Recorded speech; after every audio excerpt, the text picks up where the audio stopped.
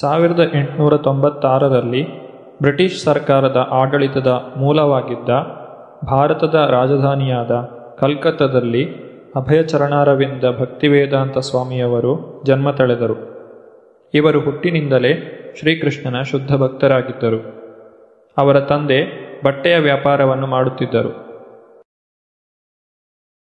ಚಿಕ್ಕವರಿದ್ದಾಗ ಅವರು ತಮ್ಮ ತಂದೆಯ ಜೊತೆಯಲ್ಲಿ ಶ್ರೀ ರಾಧಾಕೃಷ್ಣ ದೇವಾಲಯಕ್ಕೆ ಹೋಗುತ್ತಿದ್ದರು.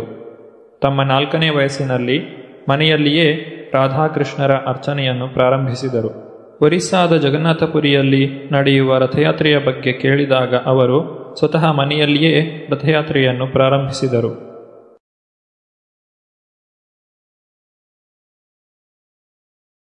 ತಮ್ಮ ಎಂಟನೆಯ ವಯಸ್ಸಿನಲ್ಲಿ ಅಭಯಚರಣರು ಮನೆಯ ಹತ್ತಿರವೇ ಇದ್ದ ಮೋತಿಲಾಲ್ ಸೀಲ್ ಶಾಲೆಯಲ್ಲಿ ಪ್ರವೇಶವನ್ನು ಪಡೆದರು. ಉನ್ನತ ಶಿಕ್ಷಣವನ್ನು ಪಡೆಯಲು ಅವರು ಕಲ್ಕತ್ತದ ಅತ್ಯಂತ ಪ್ರಸಿದ್ಧವಾದ ಸ್ಕಾಟಿಷ್ ಚರ್ಚಿಸ್ ಕಾಲೇಜನ್ನು ಪ್ರವೇಶಿಸಿದರು. ಆ ಸಮಯದಲ್ಲಿ ಗಾಂಧೀಜಿಯವರು ವಿದೇಶಿ ವಸ್ತುಗಳನ್ನು ಬಹಿಷ್ಕರಿಸುವಂತೆ ಭಾರತೀಯರಿಗೆ ಕರೆ ನೀಡಿದರು. ಗಾಂಧೀಜಿಯವರ ತತ್ವಗಳು ಭಾರತೀಯರ ಮೇಲೆ ಅಪಾರ ಪರಿಣಾಮವನ್ನು ಬೀರಿತ್ತು. ಅವರು ಅಸಹಕಾರ ಚಳುವಳಿಯ ಮೂಲಕ ಭಾರತೀಯರನ್ನು ಒಂದುಗೂಡಿಸಿದರು. ಅಭಯಚರಣರು ಕೂಡ ಪ್ರಾರಂಭದಲ್ಲಿ ಗಾಂಧಿವಾದವನ್ನು ಬೆಂಬಲಿಸಿದರು. ಆದರೆ ಸಾವಿರದ ಒಂಬೈನೂರ ಇಪ್ಪತ್ತ ಎರಡರಲ್ಲಿ ಅವರ ಜೀವನದ ಪಥ ಬದಲಾಯಿತು. ಅವರು ಶ್ರೀಲ ಭಕ್ತಿ ಸಿದ್ಧಾಂತ ಸರಸ್ವತಿ ಠಾಕೂರರನ್ನು ಭೇಟಿ ಮಾಡಿದರು. ಶ್ರೀಲ ಭಕ್ತಿ ಸಿದ್ಧಾಂತ ಸರಸ್ವತಿ ಠಾಕೂರರು ಶ್ರೀಕೃಷ್ಣನ ಶುದ್ಧ ಭಕ್ತರಾಗಿದ್ದರು. ಅವರು ಭಗವಾನ್ ಶ್ರೀಕೃಷ್ಣನಿಂದ ಪ್ರಾರಂಭವಾದ ಬ್ರಹ್ಮ ಸಂಪ್ರದಾಯದಲ್ಲಿ ಬರುವ ಗುರು ಶಿಷ್ಯ ಪರಂಪರೆಗೆ ಸೇರಿದವರಾಗಿದ್ದರು. ಶ್ರೀಕೃಷ್ಣನ ಆಧ್ಯಾತ್ಮಿಕ ಸಂದೇಶದ ಪ್ರಚಾರ ಭಾರತದ ಸ್ವಾತಂತ್ರ್ಯ ಹೋರಾಟಕ್ಕಿಂತ ಹೆಚ್ಚು ಪ್ರಾಮುಖ್ಯವಾದುದು ಎಂದು ಅವರು ಅಭಯಚರಣರ ಮನವೊಲಿಸಿದರು.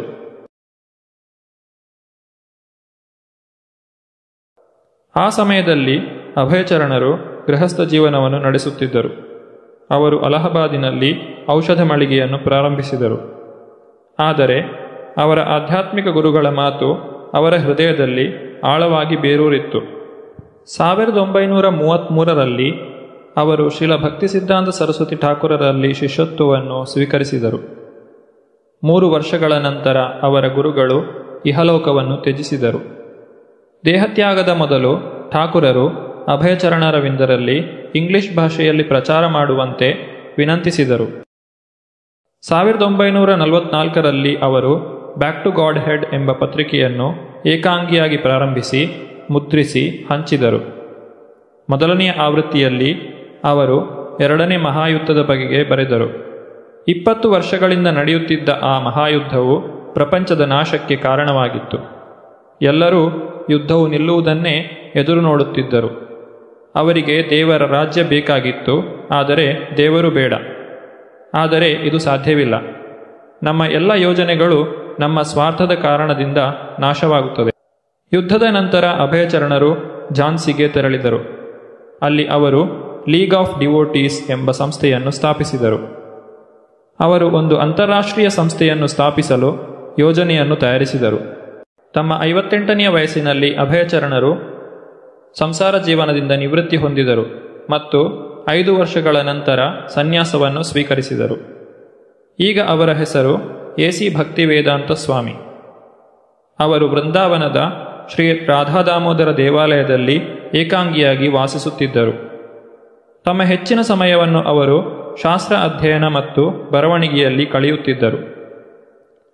ಐದು ಸಾವಿರ ವರ್ಷಗಳ ಹಿಂದೆ ವೃಂದಾವನದಲ್ಲಿ ಶ್ರೀಕೃಷ್ಣನು ತನ್ನ ಬಾಲಲೀಲೆಗಳನ್ನು ಆಡಿ ತೋರಿಸಿದ್ದಾನೆ ಇಡೀ ಭೂಮಂಡಲದಲ್ಲಿಯೇ ಅತ್ಯಂತ ಪವಿತ್ರವಾದ ಈ ವೃಂದಾವನವನ್ನು ದರ್ಶಿಸಲು ಭಕ್ತರು ದೇಶ ವಿದೇಶಗಳಿಂದ ಬರುತ್ತಾರೆ.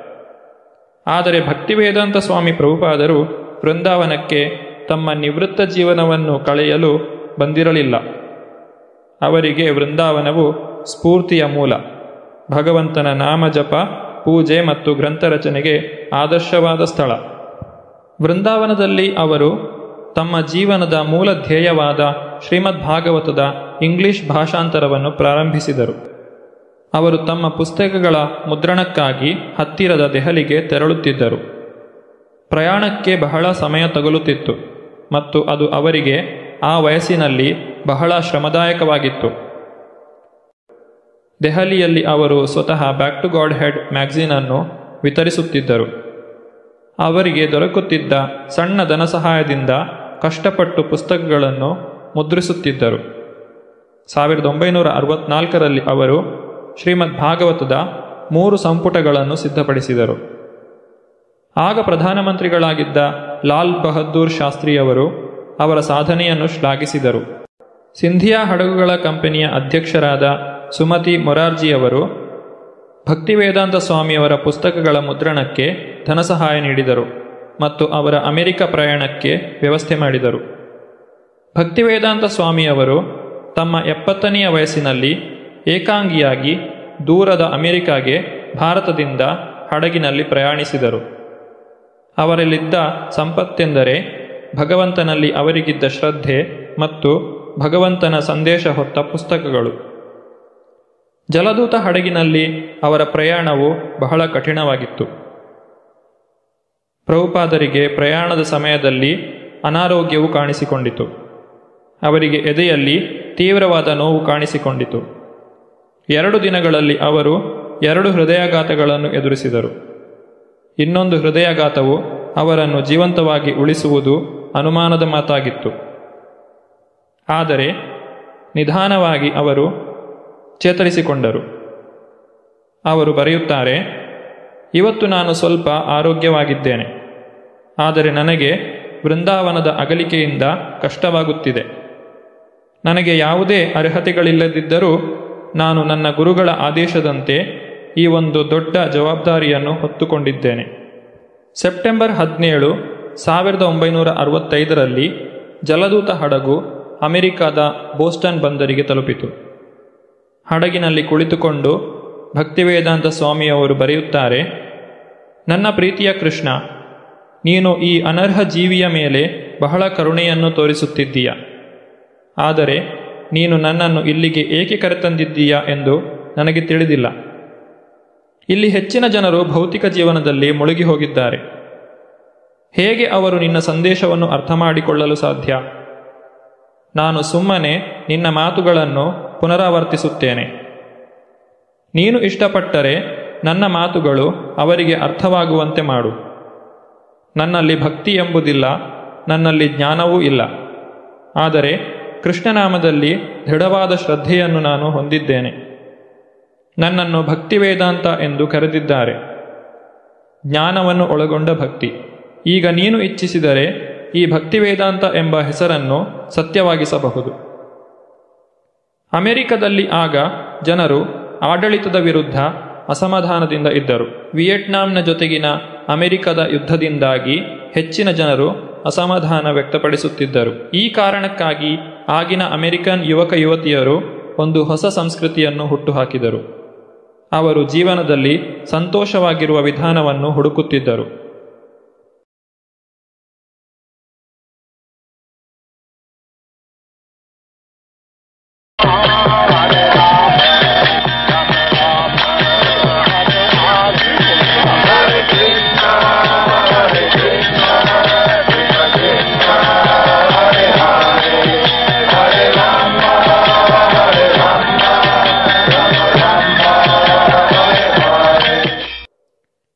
ಪ್ರಭುಪಾದರು ಬರೆಯುತ್ತಾರೆ, ಕೃಷ್ಣನು ಯಾವುದೋ ಒಂದು ಉದ್ದೇಶಕ್ಕಾಗಿ ಸಿದ್ಧತೆ ಮಾಡುತ್ತಿದ್ದನು. ನಿಧಾನವಾಗಿ ಒಬ್ಬೊಬ್ಬರಾಗಿ ಜನರು ನನ್ನ ಬಳಿಗೆ ಬರಲು ಶುರು ಮಾಡಿದರು. ಮುಂದೆ ನಡೆದದ್ದೆಲ್ಲವೂ ಒಂದು ಚಮತ್ಕಾರ. ಏಕೆಂದರೆ ಒಬ್ಬ ವಯಸ್ಸಾದ ವ್ಯಕ್ತಿ ಕೇವಲ ಕೆಲವು ಪುಸ್ತಕಗಳನ್ನು ಮಾರಿ ಜೀವನವನ್ನು ಸಾಗಿಸುವಂತಹ ಪರಿಸ್ಥಿತಿಯಲ್ಲಿ ಇರುವಾಗ, ಈ ಭೌತಿಕ ಪ್ರಪಂಚದಲ್ಲಿ ಒಂದು ಆಧ್ಯಾತ್ಮಿಕ ಆಂದೋಲನವನ್ನು ಸೃಷ್ಟಿಸಲು ಹೇಗೆ ಸಾಧ್ಯ? ಹರೇ ಕೃಷ್ಣ ಮಂತ್ರವನ್ನು ಹಾಡುತ್ತಾ back to god head magazine ಅನ್ನು ಹಂಚುತ್ತಾ, ಪ್ರಭುಪಾದರು ಜನರ ಗಮನವನ್ನು ಸೆಳೆದರು. ಅವರು ಉದ್ಯಾನದಲ್ಲಿ ಸಂಕೀರ್ತನ ಕಾರ್ಯಕ್ರಮ ನಡೆಸುತ್ತಿದ್ದರು. ಪ್ರತಿ ಭಾನುವಾರ ಪ್ರೀತಿಯ ಔತಣವನ್ನು ನೀಡುತ್ತಿದ್ದರು. ಇದರಿಂದ ಬಹಳಷ್ಟು ಜನರು ಆಕರ್ಷಿತರಾದರು. ಭವಿಷ್ಯದ ಬಗೆಗೆ ಪ್ರಭುಪಾದರು ಹೊಂದಿದ್ದ ಕನಸುಗಳಿಗೆ ಮಿತಿ ಇರಲಿಲ್ಲ.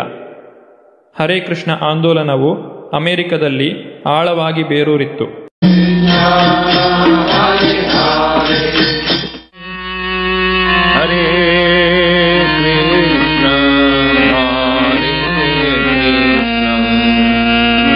Krishna Krishna Hare Hare Hare Rama Hare Krishna. ಇನ್ನು ಹೆಚ್ಚಿನ ಕನ್ನಡ ಪ್ರವಚನಗಳಿಗಾಗಿ ಲೈಕ್, ಶೇರ್ ಮತ್ತು ಸಬ್ಸ್ಕ್ರೈಬ್ ಮಾಡಿ ಇಸ್ಕಾನ್ ಕನ್ನಡ.